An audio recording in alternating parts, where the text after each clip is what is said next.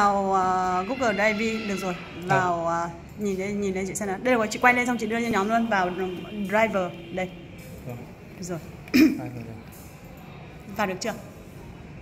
Vào được Driver chưa ấy. ok vào chỗ mới. Thì chỉ tay vào đây luôn vào mới. Mới. Chọn ứng dụng khác. À dùng dùng ứng dụng chọn ứng dụng khác. Vào Google biểu mẫu. Được mẫu. Xong. Mọi thao tác là thế một survey chắc là tiếng Anh còn tên tiếng Anh của nó đấy. Ừ. nhưng bây giờ em hỏi nhá ví dụ mà em làm này lên nhá mà học viên của em ví dụ 100 Đây. đứa mà đứa nào đang nhập vào nó làm thì em có biết là đứa nào làm Được, em trong một giây phút em biết là chúng nó kiểm tra xong em sẽ có điểm ngay tại chỗ luôn. Quan trọng là em biết được tên tuổi đứa đấy không? Chị sẽ dạy cách cách làm. Đây bây giờ đánh vào đây. Đánh vào đây ví dụ là kiểm tra bài 1 đi. Tên đấy là tên tiêu đề bài kiểm tra. Ví dụ bài 1 là kiểm tra bài 1 nhá. Nhìn nhìn trên bên này anh em nhìn Rồi. kiểm tra bài 1 ấn vào đây nó sẽ nhảy ra đây luôn đánh vào đây. Cái này nó sẽ nhảy xuống. Ok mô tả biểu mẫu. Ví dụ trong phần này là kiểm tra từ vựng chẳng hạn thì em sẽ ghi là kiểm tra từ vựng chẳng hạn. Hoặc là đây là hướng dẫn. Ví dụ ở trong phần này hướng dẫn em ghi là bây giờ các bạn sẽ dành bao nhiêu phút để kiểm tra gì gì đấy chẳng hạn.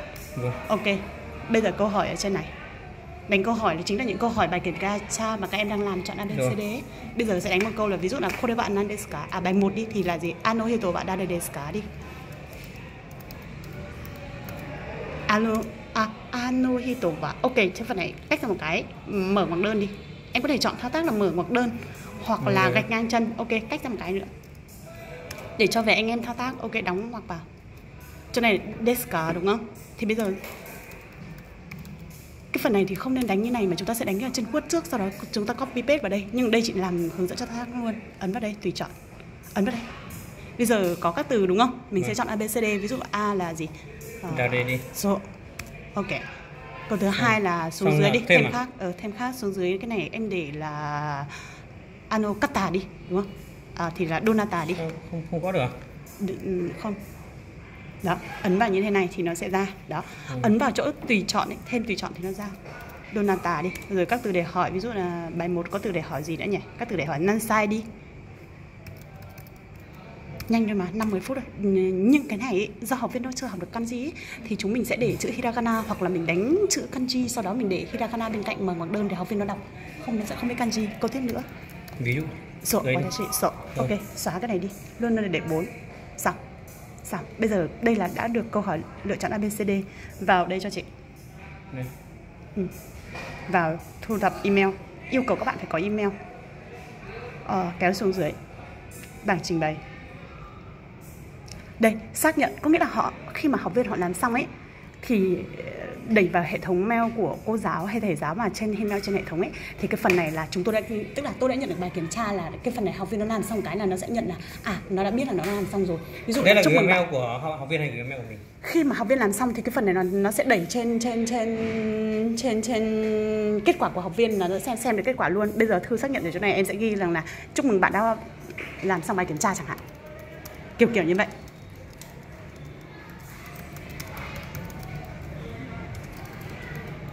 ok, chúc mừng chấm chấm chấm. Thế thôi đã. Ok. Ok, ấn vào cho chị bài kiểm tra. Thế thì tùy theo nhá. Đặt làm bài kiểm tra sau khi làm xong là sẽ có nộp luôn. Chúng ta sẽ không để để cái này. Bởi vì học viên nộp xong cái là chúng ta sẽ có kết quả của học viên luôn ngay xong một phát cái phần này bỏ bỏ câu trả lời sai đi. Bởi vì mình chỉ cho học viên câu trả lời đúng thôi. Nếu mà khi mà học viên ấy họ nhìn thấy câu trả lời sai ấy, họ sẽ bị bị bị um, quá nhiều cái thông tin. Cho nên mình chỉ cần biết là học viên chỉ xem kết quả đúng thôi. Thì xóa cái giá trị điểm này đi và xóa cái phần này đi. Ấn nút lưu vào cho chị. Xong. Bây, giờ chưa biết bình tĩnh bình tĩnh bình tĩnh. Bây giờ ấn vào đây cho chị chế độ bắt buộc. Có nghĩa là học viên phải làm bài câu câu này. Chọn đáp án. Đây bây giờ em cho giá trị điểm. Thì bao nhiêu bài kiểm tra của em thường là từ vựng 100 ngữ pháp kanji tất cả 100 đúng không? Vì nếu mà em làm 50 câu thì sẽ là mỗi câu này 2 điểm. Nếu mà em làm 20 câu thì mỗi cái câu sẽ là 5 điểm mà 10 câu mỗi câu 10 điểm đúng không? Rồi. giả sử chế độ thang điểm ở chỗ này là 10 đúng không? Ok xong đăng. Ấn nút xong cho chị. Chưa Rất chọn nhanh. đáp án. Bình, ờ, bây giờ chọn đi, Donata, xong. À, no, hiểu ạ, Donata là sai, đa đê. Thế thì hai đáp án như thế này sẽ sẽ chúng ta chỉ chọn một thôi. Xong, xong. Bây giờ muốn thao tác tiếp thì các em sẽ ấn vào nút dấu cộng ở đây. cộng là thêm câu tiếp theo Thêm, ừ, câu tiếp theo, ok. Xong nhá, bây giờ xong nhá. Xong, làm tương tự như vậy. Rất nhanh, ok. Nhá, tiếp nhá. Thế, coi như thế là xong rồi và bây giờ đẩy lên cho chị. Các em nhìn này. đây là kiểm tra bài 1 mà liên quan đến nội dung của phần gì em có thể để ngay là kiểm tra bài 1 từ vựng ở đây nha Vâng. ấn cho chị vào câu trả lời ở trong phần câu trả lời này, nó sẽ xuất ra ngay bản tính phần này luôn. Được chưa? Bây giờ em nhìn nhá, nhìn câu trả lời em ấn vào chỗ này cho chị. Nó ra bản tính, đẹp chưa? Các cô sẽ có bài luôn, ấn nút tạo cho chị. Cái phần này chúng ta nên để chung với cái trên này này. Bởi vì khi sau mà chúng ta để khác cái chỗ này chúng ta tìm rất là khó, trên cũng Google vì chúng ta. Ok, bây giờ ấn vào nút đây cho chị, soi cho chị xem. Được chưa? Được chưa? Thế bây giờ nhá em cần thêm một câu hỏi nữa ở chỗ này là mỗi địa chỉ email yêu cầu học viên có địa chỉ email đúng không? Thêm cho chị hai ba thao tác nữa là tên lớp. Thậm chí các em có thể thêm tên nghiệp đoàn. Để sau khi search ra ấy, ừ, các cái khung này nó giống nhau hết cho nên là tắt chỗ này đi quay trở lại cho chị. Đây nhá ấn vào đây ấn, ấn, ấn vào câu hỏi. Ấn vào nút này cho chị. Bây giờ không vào này nữa kéo thả cái đống này vứt lên trên cho chị đó kéo thả lên trên cùng. Lên trên cùng ok. Bây giờ sẽ họ và tên. Đó em cần biết tên của học viên đúng không? Họ và tên học viên hoặc là để cả tiếng nhật luôn si mê Vâng. luôn. Ok cái chéo. Thế thì đây cái phần này sẽ luôn để trả lời ngắn. Còn cái phần bài kiểm tra dưới này sẽ là có mấy thao tác. Thì cái phần này để trả lời ngắn để họ viết vào đây. Và cái này bắt buộc nếu mà học viên không không không đánh tên của họ vào chúng ta không biết cho nên mà yêu cầu thì cái phần này sẽ hướng dẫn có những phần mà liên quan đến hướng dẫn học viên kiểm tra. Thì thì khi mà làm xong ấy có thể chị hướng dẫn hoặc phương hướng dẫn cũng được. Thì cái phần này chị sẽ hướng dẫn các em cứ làm thao tác cho bài kiểm tra xong. Sau đó toàn bộ mà học viên lên kiểm tra ấy, chị sẽ support ở đằng sau hỗ trợ các em. Từng ly từng tí một liên quan đến học viên làm app như thế này. Ấn vào nút bắt buộc rồi cho chị. Ok, thêm một thao tác nữa. Thêm một thao tác nữa. Tên lớp. Thậm chí chúng ta có thể để tên giáo viên luôn. Tên giáo viên luôn, tên lớp. Ok, tương tự như vậy. Bắt buộc giá trị điểm đấy không nhá, tất cả này không hết tương tự như thế nữa. Ví dụ là tên giáo viên nữa, giáo viên phụ trách. Thậm chí thêm được cả nghiệp đoàn xí nghiệp nữa, đăng chưa? Xong nhá, bây giờ ấn vào nút sâu vào cho chị. À chỗ này kiểm tra chúng ta sẽ để trắc nghiệm hoặc kéo sược xuống vào chỗ đấy. Nó có hai thao tác, một là chúng ta sẽ để trắc nghiệm, hai là hộp kiểm. Nhưng mà cái trắc nghiệm này thì có vẻ ok hơn nhưng chỉ chọn bài kiểm tra chỉ chọn một trong hai thao tác này luôn. Nhưng mà riêng liên quan đến tên lớp, họ và tên và tất cả những cái thông tin mà, thông tin cá nhân ý, thì chúng ta sẽ để ở cái thao tác, ấn vào đây cho chị. Thì chúng ta sẽ để ở cái thao tác là trả lời ngắn.